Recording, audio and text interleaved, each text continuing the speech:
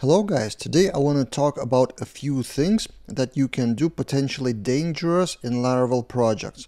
So dangerous I mean, if you add some code globally in your Laravel project, some configuration, some setting, some feature, and then other teammates or even yourself in the future may miss that, may miss some logic, may misunderstand and introduce some bugs or unexpected behavior.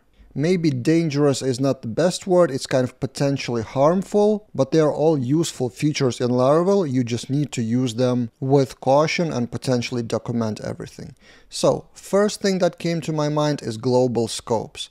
So, if you want to add some condition on all queries, all eloquent queries of your Laravel model, so for example, this is the documentation add global scope with ancient scope, which will add this condition to all queries when you use model like this user all and the scope itself if we scroll a bit up so you add where condition on all eloquent queries. This may be cool if you use that scope on your current project's queries. So for example everywhere you want to query only active records or only records that are 30 years from now within some time scope or something and this may sound cool but in the future imagine a new developer joining your team and they see only user all in controller or in some other class and they don't even know that there's a hidden global scope behind it that filters out some data. So if you have repeated queries, repeated conditions, I would probably use local scopes instead and specifically provide like an eloquent query user,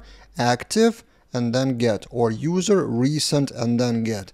Then it's readable. Then new developers can check out what is recent. So they should find let's scroll down to the local scopes. Yeah local scope so they can find in the model scope popular or scope recent or something this is probably some more work to add that local scope to all the queries everywhere, but this is more safe in the long run. In my experience, the best good example of using global scopes is multi-tenancy. So for example, you would add global scope multi-tenant or something, and that would filter only the records by currently logged in user. So where user ID or where created by user ID, auth ID.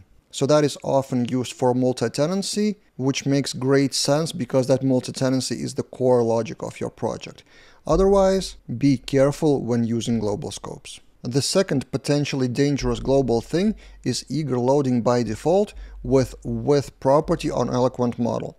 So of course we all know that eager loading is great to avoid n plus 1 query problem and too many queries to the database, so we need to eager load the relationship. So for example, load book with author and then it loads all the authors in one query. And you may think that it's very convenient to always load the authors on all the book model queries because you will basically need authors everywhere. So if you provide that with on eloquent model level, then again, think about future developers who would work with books and maybe only with books, and then every query of that books would load the authors, although potentially they are not needed.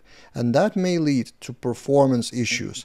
I've encountered that multiple times, especially in the API project, where you download the data. So for example, your API call want the latest books.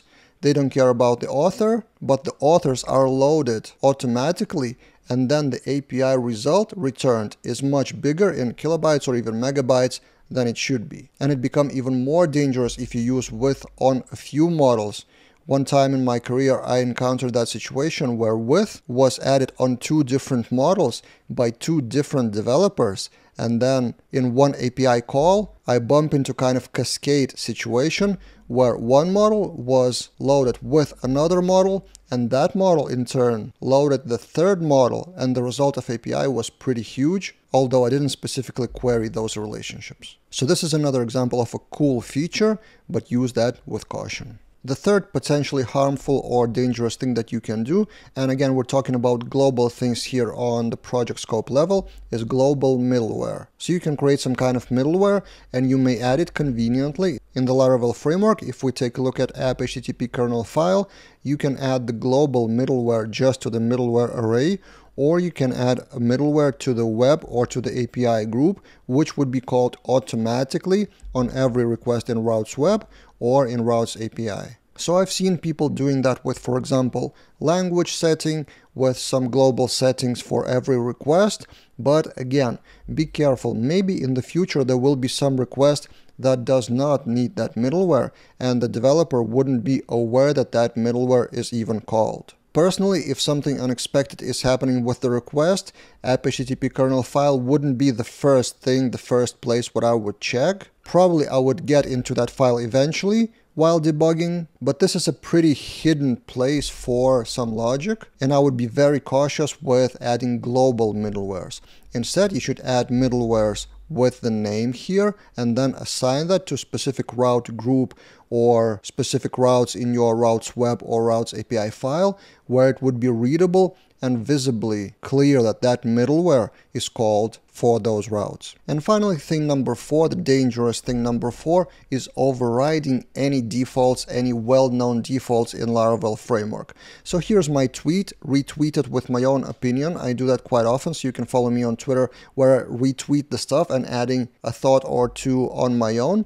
So here's a tweet, original tweet by Nico, and he shares that he overrides the user model, or it may be any other model, delete method with parent delete, which comes from Laravel default, and on top of that, before that, he deletes something else or cancels subscription, for example. And this seems convenient, but again, think in the future about other developers who just call the delete method by Laravel framework, and they wouldn't even expect something else happening before that. So that may come as a surprise. And based on this example, the general tip is if you override something well-known, well-known feature or function or property in Laravel framework, it may come as a surprise for future developers or even for yourself in the future. In this cases, instead of that, Laravel gives a lot of features for extension but not overriding the defaults. Things like observer in this case, or events and listeners in this case, or even adding more code in the controller after that delete or creating a service class with method delete that calls the delete